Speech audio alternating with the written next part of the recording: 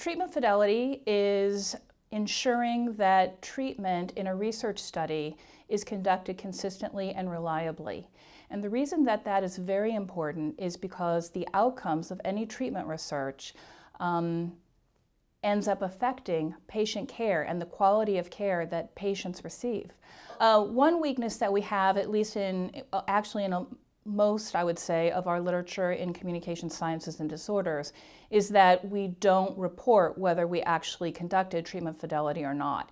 And that is a weakness to our literature because when it comes to accumulating evidence, compiling studies in treatment, um, in literature syntheses or practice guidelines, et cetera, um, it, it, ends up being a weakness in our overall literature. Um, so reporting what was done is very important. But uh, it's also obviously very important how you do it and what is being done. So the best way to assess treatment fidelity in a research study is to, first of all, be very clear in the treatment that you're setting up.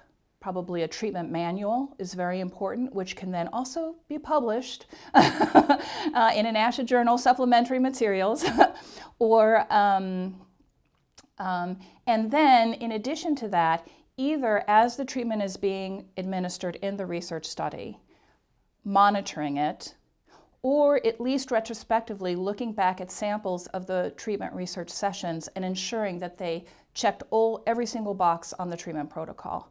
Uh, because it is easy for clinicians, even in a research study, to drift away from the treatment protocol, uh, even though they may be doing that unintentionally. And we want to make sure that that's not happening. Because if it does happen, then the outcome you're reporting from your research is not an outcome from the treatment that you thought you were giving. Um, it's just like reporting the reliability uh, and validity of any of our other measures.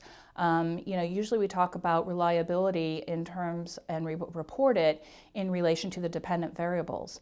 Um, but in the case of a treatment research uh, study, the reporting treatment fidelity is the equivalent of reporting reliability on our independent variable.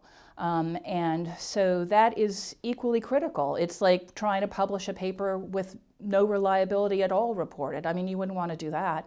I, I think that when we don't do it, um, it, it, what happens is that the details of the treatment are much less accessible, whether it be in the publication or you know later when somebody wants to replicate or build on that research.